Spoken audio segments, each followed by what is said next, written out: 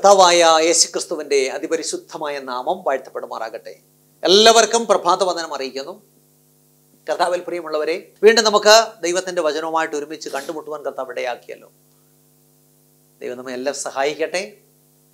ഈ നല്ല പ്രഭാതത്തിൽ ദൈവ വചനവുമായിട്ട് നമുക്ക് നമ്മുടെ പുതിയ ദിവസം ആരംഭിക്കാം. നമ്മളെ സകല സത്യത്തിലും വഴി നടത്തുന്ന നമ്മുടെ പാതയ്ക്ക് പ്രകാശം നൽകുന്ന അന്ധകാരം നിറഞ്ഞ ജീവിത യാത്രയിൽ പ്രകാശം നൽകുന്ന ദൈവത്തിന്റെ മാറ്റമില്ലാത്ത തിരുവചനത്തിനായിട്ട് സ്തോത്രം ചെയ്യാം. ഈ വചനത്തിലേക്ക് നിങ്ങളെ ഞാൻ ക്ഷണിക്കുകയാണ്. നമുക്ക് ഒരുമിച്ച് വചനം നാം ധ്യാനിക്കുമ്പോൾ പ്രാർത്ഥനയോടെ ആയിരിക്കാം. ഈ ദിവസങ്ങളിൽ നാം എന്താ ചിന്തിച്ചുകൊണ്ടിരിക്കുന്നത്? വീണ് കിടക്കുന്ന അടിസ്ഥാനങ്ങൾ. വീണ് കിടക്കുന്ന അടിസ്ഥാനങ്ങൾ. കഴിഞ്ഞ നാല് എപ്പിസോഡുകളായിട്ട് നമ്മൾ ന്യായപ്രമാണം എന്ന അടിസ്ഥാനമാണ് ചിന്തിച്ചുകൊണ്ടിരിക്കുന്നത്. ഇന്ന് നമ്മൾ പതിനാറാമത്തെ എപ്പിസോഡിലേക്കാണ് കടന്നു വന്നിരിക്കുന്നത്. പതിനാറാമത്തെ എപ്പിസോഡ്. പതിനാറ് എപ്പിസോഡ് പതിനഞ്ച് എപ്പിസോഡുകളായിട്ട് നമ്മൾ എന്ത് ചിന്തിച്ചു? വീണ് കിടക്കുന്ന അടിസ്ഥാനങ്ങൾ.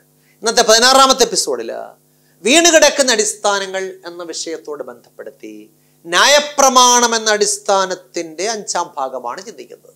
ന്യായപ്രമാണം എന്ന അടിസ്ഥാനം. ചിന്തയ്ക്ക് ആധാരമായി നമുക്കൊരു വാക്യം വായിക്കാം. ഗലാത്യ ലേഖനം അഞ്ചാം അധ്യായം.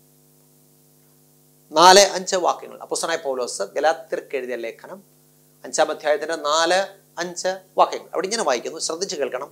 ന്യായപ്രമാണത്താൽ നീതീകരിക്കപ്പെടുവാൻ ഇച്ഛിക്കുന്ന നിങ്ങൾ ക്രിസ്തുവിനോട് വേർപെട്ടു പോയി നിങ്ങൾ കൃപയിൽ നിന്ന് വീണുപോയി. ഞങ്ങളോ വിശ്വാസത്താൽ നീതി ലഭിക്കുമെന്ന പ്രത്യാശാനുവർത്തിയെ വിശ്വാസ ഞങ്ങളോ വിശ്വാസത്താൽ നീതി ലഭിക്കുമെന്ന പ്രത്യാശാനുവർത്തിയെ ആത്മാവിനാൽ കാത്തിരിക്കുന്നു.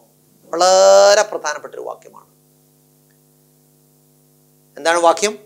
ന്യായപ്രമാണത്താൽ നീതീകരിക്കപ്പെടുവാൻ ഇച്ഛിക്കുന്ന നിങ്ങൾ ക്രിസ്തുവിനോട് വേർപെട്ടു പോയി നിങ്ങൾ കൃപയിൽ നിന്ന് വീണുപോയി ഞങ്ങളോ വിശ്വാസത്താൽ നീതി ലഭിക്കുമെന്ന പ്രത്യാശ നിവർത്തിയെ ആത്മാവിനാൽ കാത്തിരിക്കുന്നു. പ്രിയമുള്ളവരെ ദൈവം സ്ഥാപിച്ചിട്ടുള്ള അടിസ്ഥാനങ്ങളെ മറിച്ച് കളഞ്ഞിട്ട് മാനുഷിക ഉപദേശങ്ങളാകുന്ന അടിസ്ഥാനങ്ങളിന്മേൽ അനേകർ പണിതുകൊണ്ടിരിക്കുന്ന ഒരു കാലഘട്ടമാണ് ഇന്നത്തെ കാലഘട്ടം. ഞാൻ പറഞ്ഞ് ശ്രദ്ധിച്ചോ? ദൈവം സ്ഥാപിച്ചിട്ടുള്ള അടിസ്ഥാനങ്ങളെ മറിച്ച് കളഞ്ഞിട്ട് മാനുഷിക ഉപദേശങ്ങളാകുന്ന അടിസ്ഥാനങ്ങളിന്മേൽ അനേകർ പണിതുകൊണ്ടിരിക്കുന്ന ഒരു കാലഘട്ടമാണ് ഇന്നത്തെ കാലഘട്ടം. അതിനായിട്ട് അവർ കൂട്ടുപിടിക്കുന്നത് ദൈവവചനത്തെ തന്നെയാണ്. അവർക്കതിനുള്ള പിൻബലം അവിടുന്ന് വചനത്തിൽ നിന്ന് അവർ വാക്യമെടുക്കുന്നത്. പ്രത്യേകിച്ച് അപ്പോസ്തനായ പൗലോസിന്റെ ലേഖനങ്ങളിൽ നിന്നുള്ള വാക്യങ്ങൾ എടുത്ത് ഉദ്ധരിച്ചുകൊണ്ട് ന്യായപ്രമാണം അനുസരിക്കേണ്ടതില്ല എന്ന് പഠിപ്പിക്കുന്നവർ ഇന്നത്തെ ലോകത്തിലുണ്ട്. അപ്പൊ ന്യായപ്രമാണം അനുസരിക്കുന്നതോ വലിയ അപരാധമാണെന്നും അത് വിശ്വസിക്കുന്നവർ ക്രിസ്തുവിനോട് വേർപെട്ടു പോയവരാണെന്നും അവർ കൃപയിൽ നിന്നും വീണുപോയവരാണെന്നും ഒക്കെയാണ് പഠിപ്പിക്കുന്നത്. ഇത്തരം ദുരുപദേശങ്ങളെ പഠിപ്പിക്കുവാൻ വേണ്ടി സാധാരണ ആളുകൾ ഉപയോഗിക്കുന്ന ഒരു വാക്യമാണ് നമ്മൾ ആദ്യം വായിച്ചത്. ശ്രദ്ധിച്ചു കേൾക്കണം.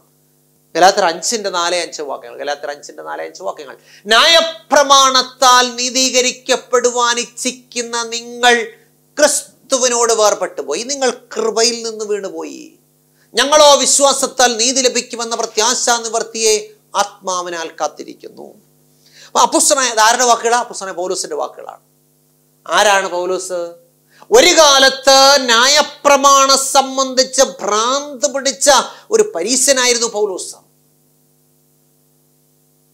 തന്റെ പദവിയെക്കുറിച്ചും തന്റെ പാരമ്പര്യത്തെക്കുറിച്ചും തന്റെ യോഗ്യതകളെക്കുറിച്ചും ഒക്കെ അഭിമാനം കൊണ്ടിരുന്ന വ്യക്തിയായിരുന്നു പൗലൂസ്. എന്താ പൗലൂസിന്റെ യോഗ്യത? ഫിലിപ്പ ലേഖനത്തിൽ പറയുന്നുണ്ട് എട്ടാം നാളിൽ പരിച്ഛേദനയേറ്റവൻ. ഇസ്രായേൽ ജാതിക്കാരൻ ബെന്യാമിൻ ഗോത്രക്കാരൻ എബ്രായരിൽ നിന്ന് ജനിച്ച എബ്രായൻ ന്യായപ്രമാണം സംബന്ധിച്ച് പരീശൻ ന്യായപ്രമാണത്തിലെ നീതി സംബന്ധിച്ച് അനിന്യൻ ശുഷ്കാന്തി സംബന്ധിച്ച് സഭയെ ഉപദ്രവിച്ചവൻ. എന്നാൽ കർത്താവായ യേശു ക്രിസ്തു എന്ന സത്യ വെളിച്ചം തന്റെ ഉള്ളിലേക്ക് വന്നപ്പോൾ തനിക്ക് ലാഭമായിരുന്നതൊക്കെയും ചേതമെന്നെണ്ണിയ ത്യാഗിവര്യനാണ് പൗലൂസ്. ന്യായപ്രമാണത്തോടുള്ള കൂറുനിമിത്തം സഭയെ ഉപദ്രവിച്ചവനായിരുന്നു പൗലോസ്. എന്നാൽ ക്രിസ്ത്യാനിത്വത്തിന്റെ കാതലായ മർമ്മം ഗ്രഹിച്ച പൗലോസ് പറയുന്നു. എന്ന് പറയുന്നു? ന്യായപ്രമാണത്താൽ നീതീകരിക്കപ്പെടുവാൻ ഇച്ഛിക്കുന്ന നിങ്ങൾ ക്രിസ്തുവിനോട് വേർപെട്ടു പോയി നിങ്ങൾ കൃപയിൽ നിന്ന് വീണുപോയി.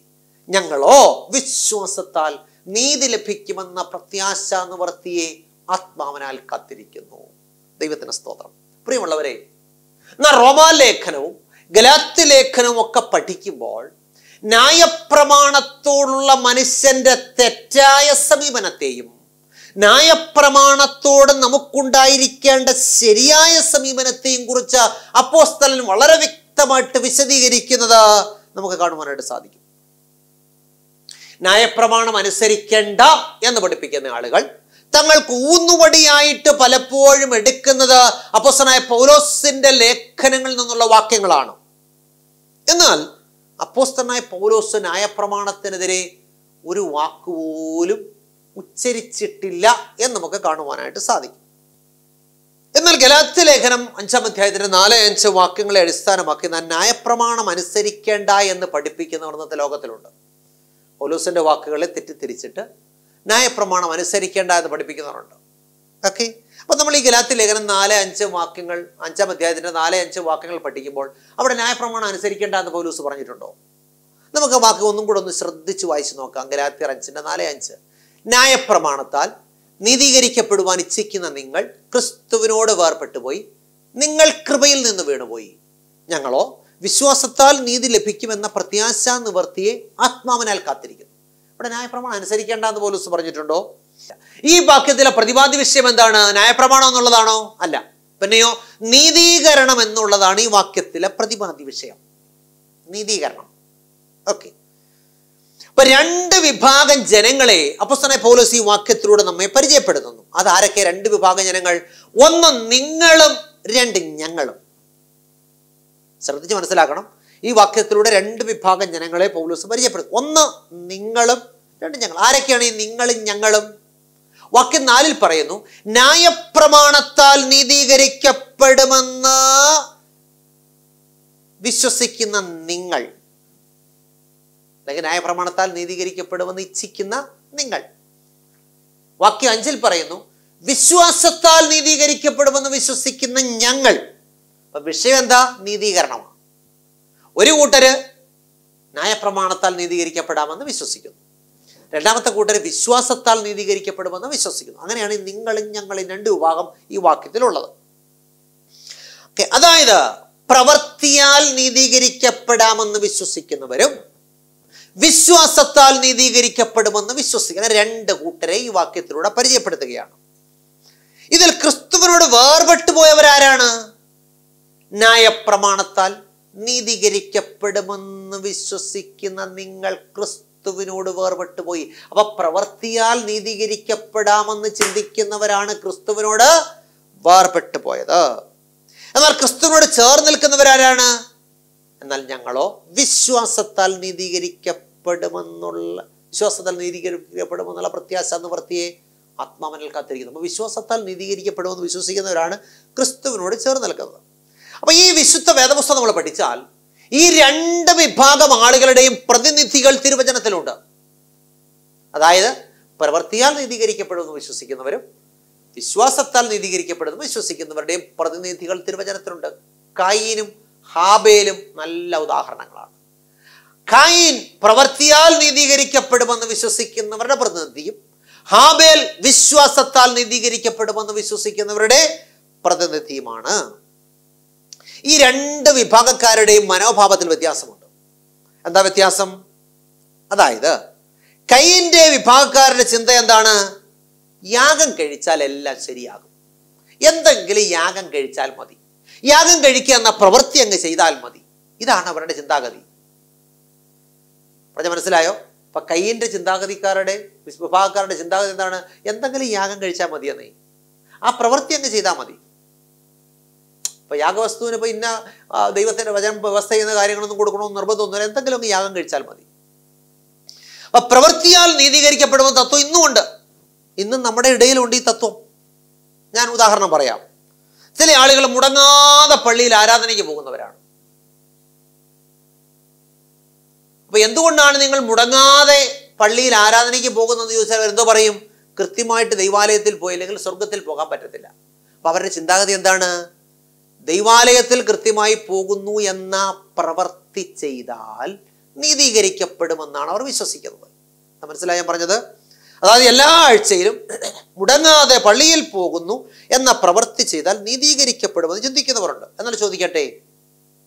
മുടങ്ങാതെ പള്ളിയിൽ പോകുന്നു എന്ന പ്രവൃത്തി ചെയ്താൽ നാം രക്ഷ പ്രാപിക്കുമോ ഒരിക്കലുമില്ല. ഒരിക്കലുമില്ല. അപ്പൊ പള്ളി വരെ ഒന്ന് പോയിട്ട് വന്നാൽ എല്ലാം ശരിയാകുമെന്ന് നമ്മുടെ മനോഭാവമാണ് തെറ്റ്.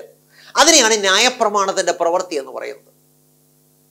എല്ലാ ആഴ്ചയിലും മുടങ്ങാതെ അങ്ങ് പോയാൽ മതി എന്നേ. എല്ലാം ശരിയായിക്കോളും. ഇതിനാ ഇതിനെയാണ് ന്യായപ്രമാണത്തിന്റെ പ്രവൃത്തി എന്ന് പറയുന്നത്. അതായത് ന്യായപ്രമാണം പറയുന്ന കാര്യങ്ങൾ കൃത്യമായിട്ട് അനുസരിച്ച് രക്ഷ പ്രാപിക്കാമെന്ന മനുഷ്യന്റെ മനോഭാവമാണ് തെറ്റ്. അപ്പൊ ചോദിക്കട്ടെ കൃത്യമായിട്ട് പള്ളിയിൽ പോകുന്നത് തെറ്റാന്നോ? ഒരിക്കലും അല്ല കൃത്യമായിട്ട് പള്ളിയിൽ പോകുന്നത് തെറ്റല്ല. പിന്നെ എന്താ തെറ്റ്? കൃത്യമായിട്ട് പള്ളിയിൽ പോകുന്നത് കൊണ്ട് ഞാൻ രക്ഷ പ്രാപിക്കുമെന്ന മനോഭാവമാണ് തെറ്റ്. കാരണം ഒരുവൻ രക്ഷ പ്രാപിക്കുന്നത് നാം ചെയ്യുന്ന എന്തെങ്കിലും പ്രവൃത്തിയാലല്ല പിന്നെയോ കർത്താവായ യേശുക്രിസ്തുവിലുള്ള വിശ്വാസത്താലാണ്. എന്ന് പറഞ്ഞാൽ കർത്താവായ യേശുക്രിസ്തുവിനെ രക്ഷിതാവായി സ്വീകരിക്കാതെ ഒരുവൻ കൃത്യമായിട്ട് പള്ളിയിൽ പോയതുകൊണ്ട് യാതൊരു പ്രയോജനവും ഇല്ല. കർത്താവിനെ രക്ഷിതാവായി സ്വീകരിച്ച് വിശുദ്ധ ജീവിതം നയിക്കുന്ന ഒരുവൻ എന്ത് ചെയ്യണം? കൃത്യമായിട്ട് ദൈവാലയത്തിൽ ആരാധനയ്ക്ക് പോകണം. അതില്ലാതെ ഞാൻ കൃത്യമായിട്ട് പള്ളിയിൽ പോകുന്നു. ആരാധന പങ്കെടുന്നു പറഞ്ഞത് കൊണ്ട് രക്ഷ പ്രാപിക്കത്തില്ല എന്നാ പറഞ്ഞത്. അതിനെയാണ് ന്യായപ്രമാണത്തിന്റെ പ്രവൃത്തി എന്ന് പറയുന്നത്. അപ്പോൾ ന്യായപ്രമാണം അനുസരിക്കുന്നത് തെറ്റാണോ? ഒരിക്കലുമല്ല. ന്യായപ്രമാണം അനുസരിച്ച് തെറ്റല്ല. കർത്താവായ യേശു യേശുക്രിസ്തുവിലുള്ള വിശ്വാസമില്ലാതെ എന്ന് പറഞ്ഞാൽ യേശു ക്രിസ്തുവിനെ സ്വന്തം രക്ഷിതാവായി സ്വീകരിക്കാതെ ന്യായപ്രമാണം പറയുന്ന കാര്യങ്ങൾ കൃത്യമായിട്ട് അനുസരിച്ചുകൊണ്ട് രക്ഷ പ്രാപിക്കാമെന്ന മനോഭാവമാണ് തെറ്റ്. ഓക്കെ. ഇവിടെ പൗലോസ് ന്യായപ്രമാണത്തെ കുറ്റം പറയുന്നുണ്ടോ? ഒരിക്കലുമില്ല. ന്യായപ്രമാണത്തെ കുറ്റം പറഞ്ഞാൽ അത് തന്ന ദൈവത്തെ തന്നെയാണ് കുറ്റം പറയുന്നത്. അല്ലെ? പൗലോസ് ന്യായപ്രമാണത്തെ കുറ്റം പറയുന്നില്ല. കർത്താവായ യേശുക്രിസ്തുവുള്ള വിശ്വാസത്താലാണ് രക്ഷ പ്രാപിക്കുന്ന സത്യം അംഗീകരിക്കാതെ ന്യായപ്രമാണം അനുസരിക്കുന്നു എന്ന പ്രവൃത്തി ചെയ്യുന്നത് കൊണ്ട് രക്ഷ പ്രാപിക്കാമെന്ന ഗലാത്യരുടെ മനോഭാവത്തെയാണ് അപ്പുസ്തനായ പൗലോസ് എതിർക്കുന്നത്. പറയുന്ന പിടികിട്ടുമെന്ന് ചിന്തിക്കട്ടെ. ന്യായപ്രമാണത്താൽ നീതീകരിക്കപ്പെടുവാൻ ഇച്ഛിക്കുന്ന നിങ്ങൾ എന്ന് പറഞ്ഞാൽ ന്യായപ്രമാണം അനുസരിച്ച് രക്ഷ പ്രാപിക്കാമെന്ന് ചിന്തിക്കുന്ന നിങ്ങൾ. ന്യായപ്രമാണം അനുസരിക്കേണ്ട എന്നല്ല പറയുന്നത്. യേശുക്രിസ്തുവിനെ രക്ഷിതമായി സ്വീകരിക്കുക. അത് യേശുക്രിസ്തു ഞങ്ങൾക്ക് വേണ്ട. ഞങ്ങൾ ന്യായപ്രമാണം അനുസരിച്ച് രക്ഷ പ്രാപിക്കാം. ആ മനോഭാവമാണ് തെറ്റ്. അപ്പൊ കിട്ടിക്കാണ് കാണാൻ ചിന്തിക്കട്ടെ. നമുക്ക് ഒരു ഉദാഹരണം നോക്കാം. അതായത് എസിയ പ്രവാചകന്റെ പുസ്തകം ഒന്നാം അധ്യായത്തിന്റെ പതിനൊന്ന് മുതൽ പതിമൂന്ന് വരെയുള്ള വാക്യങ്ങൾ. വളരെ പ്രധാനപ്പെട്ട വാക്യമാണ് എസിയ ഒന്നിന്റെ പതിനൊന്ന് മുതൽ പതിമൂന്ന് വരെ. അവിടെ കർത്താവ് ഇങ്ങനെ പറയാണ് നിങ്ങളുടെ ഹനനയാഗങ്ങളുടെ ബാഹുല്യം എനിക്ക് എന്തിന് എന്ന് യഹോവ അരളി ചെയ്യുന്നു. മുട്ടാടുകളെ കൊണ്ടുള്ള ഹോമയാകവും തടുപ്പിച്ച മൃഗങ്ങളെ കൊണ്ട് മേധസ്സും കൊണ്ട് എനിക്ക് മതി വന്നിരിക്കുന്നു. കാളകളുടെ കുഞ്ഞാടുകളുടെയോ കോലാട്ടുകൊറ്റന്മാരുടെ രക്തം എനിക്ക് ഇഷ്ടമല്ല. നിങ്ങൾ എന്റെ സന്നിധിയിൽ വരുമ്പോൾ എന്റെ പ്രാകാരങ്ങളെ ചവിട്ടുവാൻ ഇത് നിങ്ങളോട് ചോദിച്ചതാണ്. ഇനി നിങ്ങൾ വ്യർത്ഥമായിട്ടുള്ള കാഴ്ച കൊണ്ടുവരരുത്. ധൂപം എനിക്ക് വെറുപ്പാകുന്നു. അമാവാസിയും ശബദും സഭായോഗം കൂടുന്നതും ഉത്സവയോഗവും നീതികേടും ഉത്സവയോഗവും എനിക്ക് സഹിച്ചുകൂടാ. നോക്ക് ഈ വാക്കത്തിൽ കർത്താവ് എന്താ പറയുന്നത്? നിങ്ങളുടെ യാഗവും വേണ്ട നിങ്ങളുടെ ശബദം വേണ്ട നിങ്ങളുടെ സഭായോഗവും വേണ്ട ഇതൊന്നും എനിക്ക് വേണ്ട. അല്ലേ? ഇത്ര വ്യക്തമായിട്ടാണ് കർത്താവ് പറയുന്നത്? നിങ്ങളുടെ ഹനനയാഗങ്ങളുടെ ബാഹുല്യം എനിക്ക് എന്തിനെന്ന് ഹോബാറിൽ ചെയ്യുന്നു? മുട്ടാടുകളെ കൊണ്ടുള്ള ഹോമയാഗവും തടുപ്പിച്ച മൃഗങ്ങളുടെ മേധസ്സം കൊണ്ട് എനിക്ക് മതി വന്നിരിക്കുന്നു. എന്റെ സന്നിധിയിൽ വരുമ്പോൾ എന്റെ സന്നിധിയിൽ വരുമ്പോൾ എന്റെ പ്രാകാരങ്ങളെ ചവിട്ടുവാൻ ഇത് നിങ്ങളോട് ചോദിച്ചതാർ. ഇനി വ്യർത്ഥമായിട്ടുള്ള കാഴ്ച കൊണ്ടുവരരുത്. അമാവാസിയും ശബദും സഭായോഗം കൂടുന്നതും നീതികേടും ഉത്സവയോഗവും എനിക്ക് സഹിച്ചുകൂടാ. അപ്പൊ ചോദിക്കട്ടെ യാഗം ഏർപ്പാട് ചെയ്ത ദൈവം തന്നെ യാഗവുമായിട്ട് വരുന്ന ആളുകളെ വഴക്കു പറയുക. ആരാടാ നിന്നോട് യാഗം കൊണ്ടുവരാൻ ഇങ്ങോട്ട് കൊണ്ടുവരാൻ പറഞ്ഞത്? നിന്റെ യാഗം എനിക്ക് വേണ്ട. നിന്റെ രക്തവും വേണ്ട. നിന്റെ മേധസ്സും വേണ്ട നിന്റെ ശബദം വേണ്ട നിന്റെ സഭായോഗവും വേണ്ട. ഇതെല്ലാം ഏർപ്പാട് ചെയ്ത ആരാണ്? ദൈവം തന്നെ ഇതെല്ലാം അനുസരിക്കാൻ പറഞ്ഞ് ആ ദൈവം യാഗവുമായിട്ട് വരുന്നവരെ വഴക്ക് പറയുക. എന്തുകൊണ്ടാണ് ദൈവം ഇപ്രകാരം പറയുന്നത്? അതിന്റെ കാരണം എസ്ഐയാവ് ഒന്നിന്റെ പതിനഞ്ചും പതിനാറും അതിന്റെ കാരണമുണ്ട് കേട്ടോ. ഒന്നിന്റെ പതിനഞ്ചും പതിനാറിൽ പറയുന്നു നിങ്ങളുടെ കൈ രക്തം കൊണ്ട് നിറഞ്ഞിരിക്കുന്നു. നിങ്ങളെ തന്നെ കഴുകി വെടിപ്പാക്കുവിൻ. നിങ്ങളുടെ പ്രവൃത്തികളുടെ ദോഷത്തിന്റെ കണ്ണുമ്പിൽ നീക്കിക്കളവിൻ. തിന്മ ചെയ്യുന്നത് മതിയാക്കുവിൻ നന്മ ചെയ്യുവാൻ പഠിപ്പീൻ. അപ്പൊ ഈ യാഗം തെറ്റാണോ? അല്ല. യാഗം കൊണ്ടുവരുന്ന മനുഷ്യരെ ദൈവം വഴക്ക് പറയാ. അത് തെറ്റായിട്ടാണോ? അല്ല. പിന്നെയോ ഈ കൊണ്ടുവരുന്നവന്റെ പ്രവൃത്തി കുഴപ്പമാ. അല്ലേ? ഇപ്പൊ ഇവിടെ യാഗം കഴിപ്പാൻ വരുന്നവർ ആടിനെ അടിച്ചുകൊണ്ട് ഇനി വള്ളിയിലേക്ക് പോരുക. പക്ഷേ ഒരാഴ്ച മുഴുവൻ അവന്റെ ജീവിതം പരിശോധിച്ചാലോ സകലവിധ മ്ലേച്ഛതയും പ്രവർത്തിച്ചിട്ട് യാഗം കഴിച്ചാൽ എല്ലാം ശരിയാകുമെന്ന ചിന്തയിൽ ആടിനെ അടിച്ചുകൊണ്ട് ഇനി വള്ളിയിലേക്ക് വരിക. ഞാൻ പറയുന്ന പിടി കിട്ടുന്നുണ്ടോ?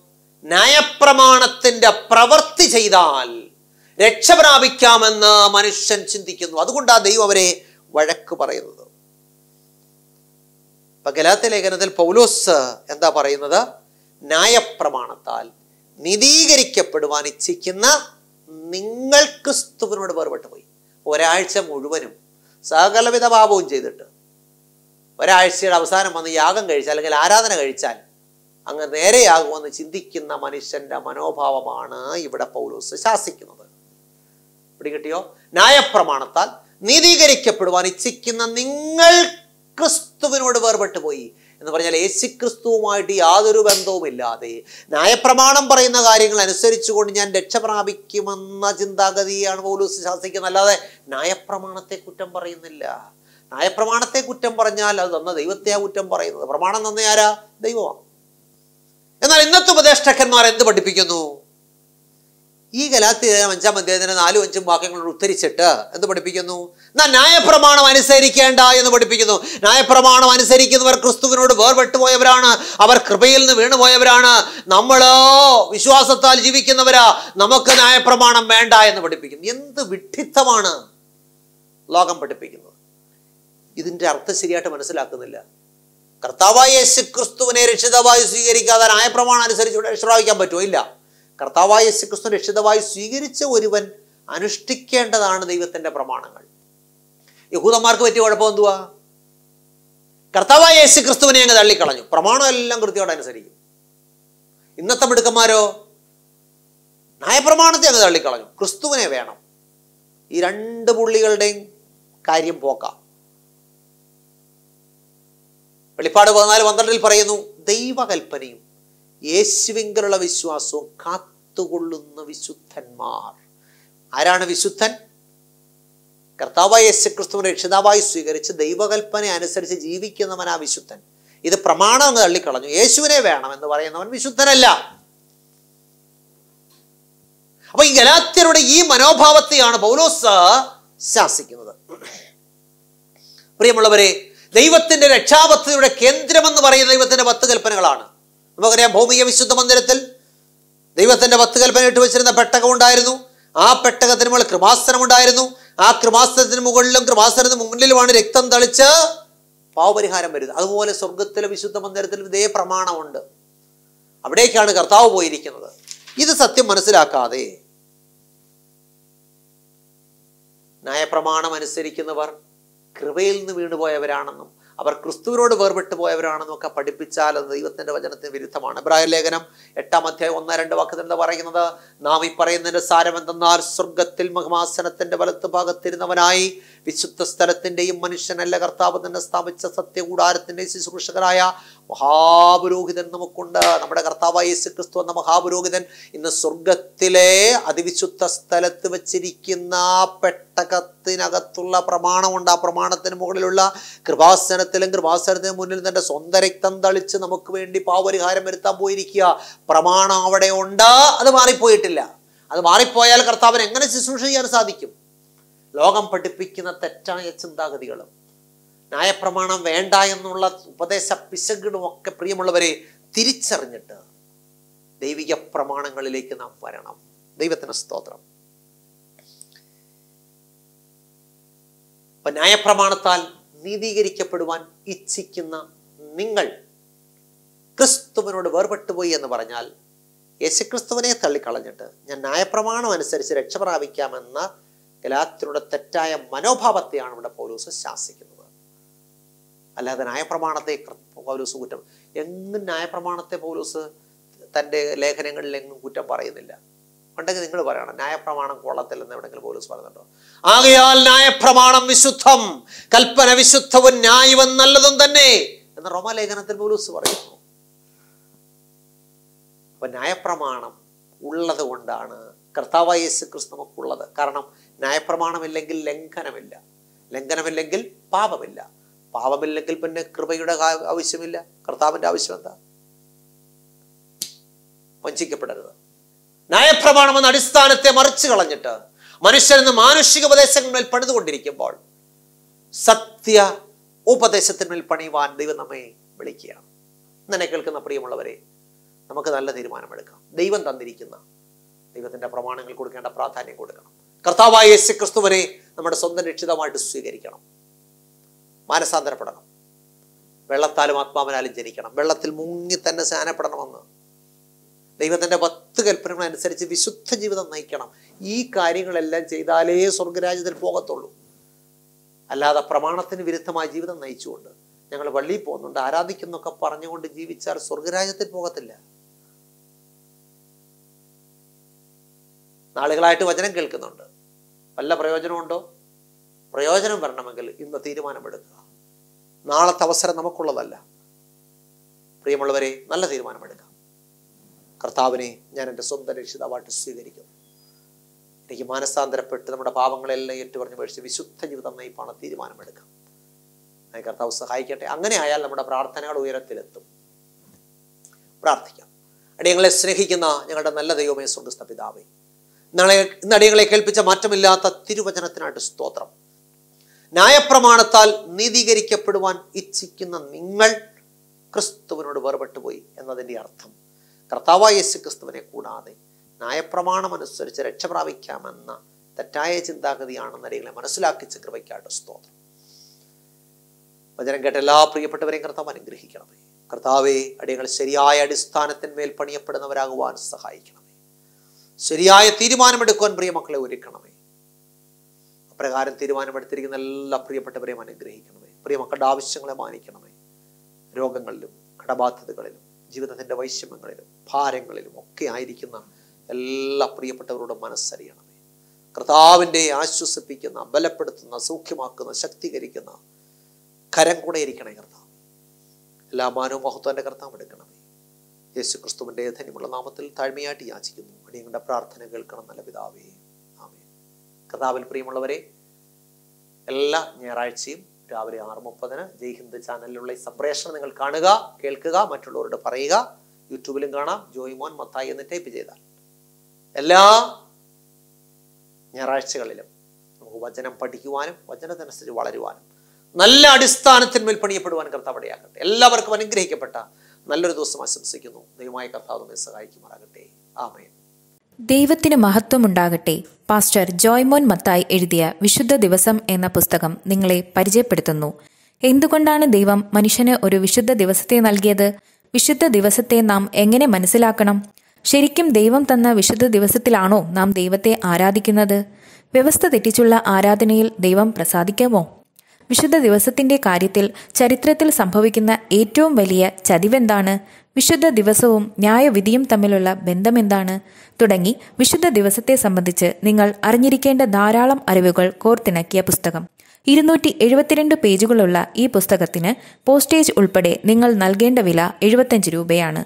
പുസ്തകം വി പി പി ആയി നിങ്ങളുടെ വീട്ടിൽ ലഭിക്കാൻ താൽപ്പര്യമുള്ളവർ പിൻകോഡ് സഹിതം അഡ്രസ് എസ് എം എസ് ചെയ്യുകയോ വിളിച്ചു പറയുകയോ ചെയ്യുക. നമ്പർ ഒമ്പത് ഏഴ് നാല് ഏഴ് പൂജ്യം ഒമ്പത് ഏഴ് ഒമ്പത് ഏഴ് ഏഴ്. ശ്രീ പേരകത്ത് ചെറിയാൻസ്കറിയ എഴുതിയ ഒരു ഉത്തമ ഗ്രന്ഥം ഞങ്ങൾ അവതരിപ്പിക്കുന്നു. ഇത് തിരുവചന സത്യം. ക്രൈസ്തവ ലോകത്ത് പരക്ക് പ്രചരിക്കുന്ന അബദ്ധ ഉപദേശങ്ങളും സംശയങ്ങളും വചന അടിസ്ഥാനത്തിൽ ദൂരീകരിക്കുന്ന ഒരു ഗ്രന്ഥമാണിത്. ദൈവത്തിന്റെ അരുളപ്പാടുകൾ സാർവത്രികമാണെന്നും അത് നിത്യമാണെന്നും ലളിതമായും യുക്തിഭദ്രമായും അവതരിപ്പിക്കുന്ന ഈ ഗ്രന്ഥത്തിന് നൂറ്റി മുപ്പത് രൂപയാണ് വില. എന്നാൽ ഞങ്ങളിത് തികച്ചും സൗജന്യമായി നിങ്ങൾക്ക് അയച്ചു തരുന്നു. നിങ്ങളുടെ പൂർണമായ മേൽവിലാസം ഇനി പറയുന്ന നമ്പറിൽ എസ് എം എസ് ചെയ്യുക. Number nine eight four seven nine zero double six three six. പ്രവചന ശബ്ദം ക്രൈസ്തവ കുടുംബമാസിക. തിരുവചനത്തിലെ കാണാപ്പുറങ്ങൾ നമുക്ക് കാട്ടിത്തരുന്ന ഉത്തമ ക്രൈസ്തവ കുടുംബ മാസിക സമകാലിക സംഭവങ്ങൾ ആരോഗ്യ ശാസ്ത്രം പ്രവചനങ്ങൾ എന്നിവ കോർത്തിണക്കി ഉൾക്കാമ്പുള്ള ലേഖനങ്ങൾ ഇതിൽ ലേഖനം ചെയ്തിരിക്കുന്നു. വരിക്കാരാകാൻ ആഗ്രഹിക്കുന്നവർ ഇനി പറയുന്ന നമ്പറിൽ എസ് എം എസ് ചെയ്യുക. നമ്പർ ഒൻപത് നാല് ഒൻപത് അഞ്ച് ഒൻപത് അഞ്ച് അഞ്ച് പൂജ്യം എട്ട് രണ്ട്. വാർഷിക വരിസംഖ്യ വെറും നൂറ്റി അൻപത് രൂപ മാത്രം.